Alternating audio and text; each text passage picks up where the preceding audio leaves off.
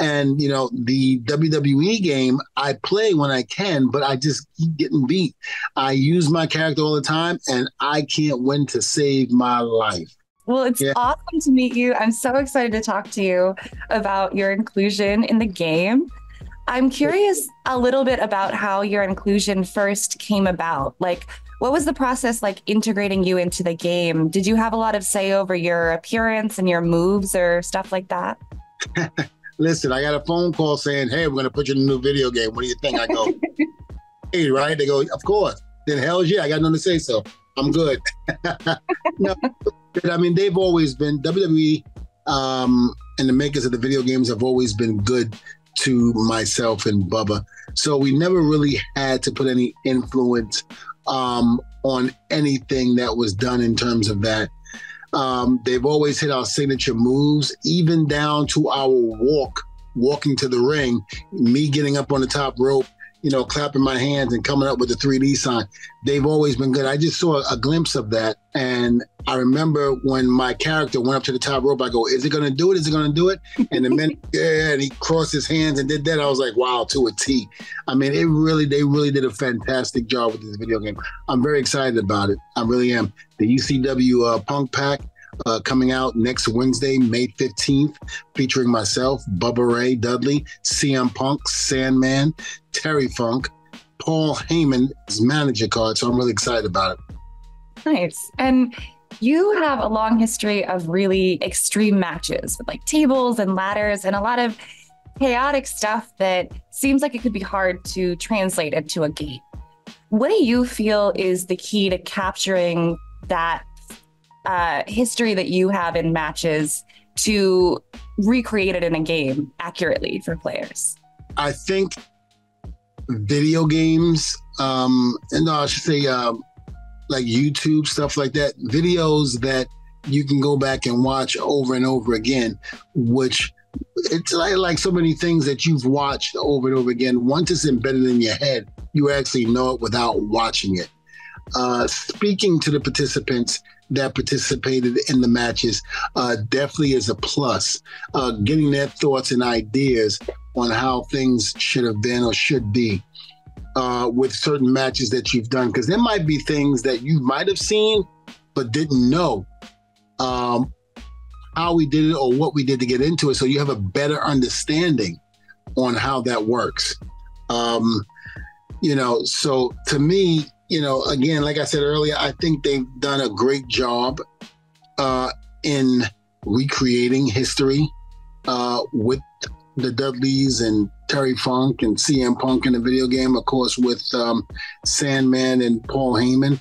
Um, it's just a matter of going out there and now letting the fans enjoy what we're what they're seeing and playing, and uh, you know, that's more stuff they could talk about. Listen, it, it with, with, the ECW uh, Punk Pack coming out on May 15th, it's great because it gives a new resurgent shot back into the arm of ECW.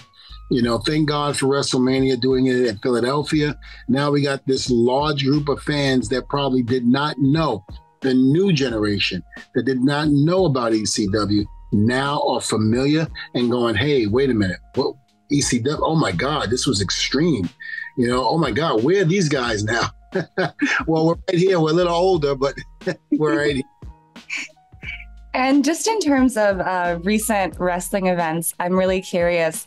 Now that the Roman Reigns bloodline storyline has sort of entered a new chapter, one where he isn't the champion, where do you rank his reign among some of the other great lengthy um, I rank him in the same rank as the Stone Cold Steve Austin, as The Rock, um, as a Bret the Hitman Hart, Hulk Hogan, you know, Bruno Sammartino. He carried the company when others couldn't.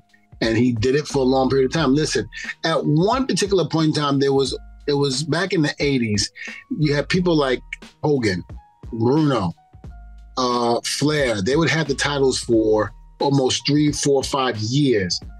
And then that type of thing went away. You didn't have that. So you were a champion maybe six months and that was it. But Roman was able to captivate that and make it just like we did back in the day, where we were counting how many days would Roman still be champion? Who would be tough enough to knock him off that pedestal?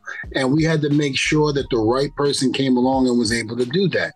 Um, you know, we saw matches with him and other uh, WWE superstars that, you know, were legendary, but yet we needed that one guy, and that one guy was Cody Rhodes. So I was very happy to see that. So again, I think Roman carrying the company the way he did, especially during the roughest times uh, during the pandemic and leading up to WrestleMania 40, I think it's great. Storyline wise, the things that he did with the bloodline tremendous, you know, tremendous. I can't put over enough how proud I am of the Usos and him and Sikoa. It's it was a great ride. And even Sami Zayn when he was part of that. So, you know, it was a great ride. It was a great watch uh, to see those guys do their magic and very proud of every one of those participants that participated in that. And last year also marked a reunion of Team 3D. What was it like getting back in the ring, uh, getting back in the ring with Bully Ray? Well, it was rough. I, I, it was rough. I had been out of the ring for seven years. You know, I had back surgery, um, and I was about two and a half years, about two, two, two years and maybe two months off of that. I did the rehab, the proper rehab, and all of that to get my back strong and ready. Uh, but you know, you just don't realize how tough it is to try to get your body back into ring shape. And it was hard. It was very, very hard, but I was able to do it and make it, you know, feel and look great. So I was very happy to be back with Bubba in that aspect. It brought back great memories. Um, do I want to really do it again like that? Huh? Ooh. say no, and I don't want to say yes, but damn. Oh, that was rough. that was rough. But I had a great time though. And I know you keep very busy, but do you ever play video games in your downtime? You know, I'm a sports guy in terms of NBA 2K, nice. uh, uh, the soccer game that they have out there, um, Major League Baseball, Madden football. I'm a, I'm a guy like that. I love that. The fighting games, the shooting games, not too much. Don't really know how to play those games, but the sports games, absolutely. And you know, the WWE game I play when I can, but I just keep getting beat. I use my character all the time, and I can't win to save my life. I've been in video games with myself since 1999, and my win loss record is not a good one.